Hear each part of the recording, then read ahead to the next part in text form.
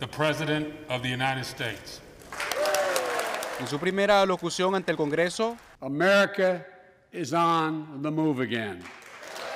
el presidente Biden definió sus primeros 100 días en el gobierno como una señal de que Estados Unidos, según dijo, está en marcha otra vez.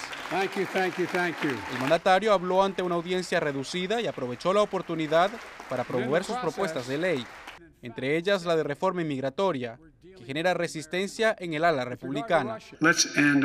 Pongamos fin a nuestra agotadora guerra por la inmigración. Durante más de 30 años los políticos han hablado sobre la reforma migratoria y no han hecho nada al respecto. Es hora de solucionarlo.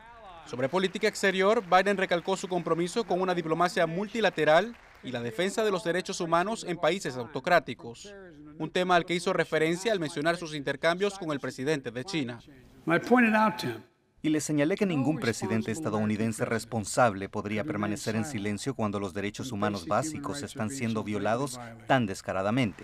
Aunque Biden no hizo referencia a otras crisis sociopolíticas en la región, sí explicó parte de su estrategia en el Triángulo Norte para disminuir la creciente llegada de migrantes a la frontera sur. we have to also have to get at the root problem. También tenemos que llegar a la raíz del problema de por qué la gente está huyendo a nuestra frontera sur desde Guatemala, Honduras, El Salvador. La violencia, la corrupción, las pandillas, la inestabilidad política, hambre, huracanes, temblores. Cuando fui vicepresidente me concentré en brindar la ayuda necesaria para abordar estas causas fundamentales de la migración. Ayudó a mantener a las personas en sus propios países en lugar de verse obligados a irse. Nuestro plan funcionó, pero la última administración lo eliminó.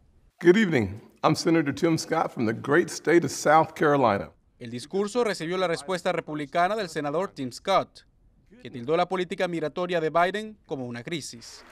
Jorge Agobián, Voz de América, Washington.